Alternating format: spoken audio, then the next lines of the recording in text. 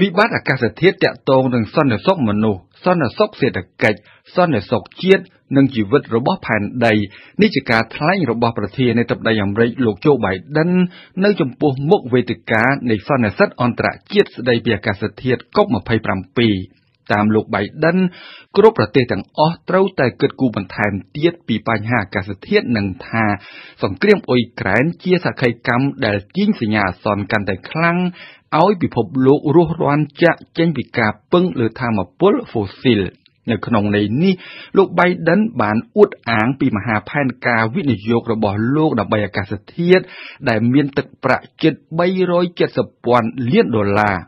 ទោះបីជាលោក Biden មិនបានលើកចំឈ្មោះប្រទេសណាមួយនៅក្នុងការអំពាវនាវរបស់លោកក៏ដោយក៏គេដឹងថាលោកចង់និយាយសម្ដៅលើក្រុមប្រទេសដែលកំពុងមានសេដ្ឋកិច្ចរីកលូតលាស់ខ្លាំងដូចយ៉ាងចិននិងឥណ្ឌា តែគេត្រូវដឹងថា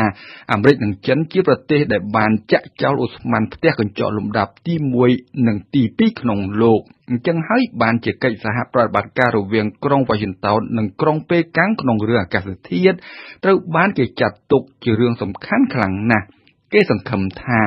រឿងអាកាសធាតុនេះអាចជាប្រធានបទមួយនៃជំនួបផ្ទាល់រវាងលោក Biden និងសមាភិកចិនលោកស៊ីជីនពីង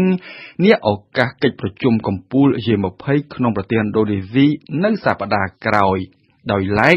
រឿងជំនួយសម្រាប់ក្រុមប្រទេសក្រីក្រដើម្បីឲ្យពួកគេសម្របខ្លួន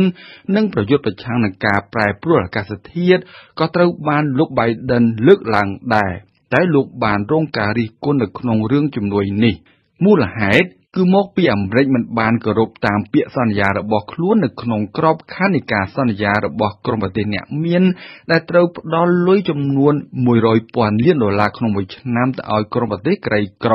ជាថ្មីម្ដងទៀតលោក Biden បានសន្យាចូលរួមវិភាគទានចំនួន11,400លានដុល្លារ។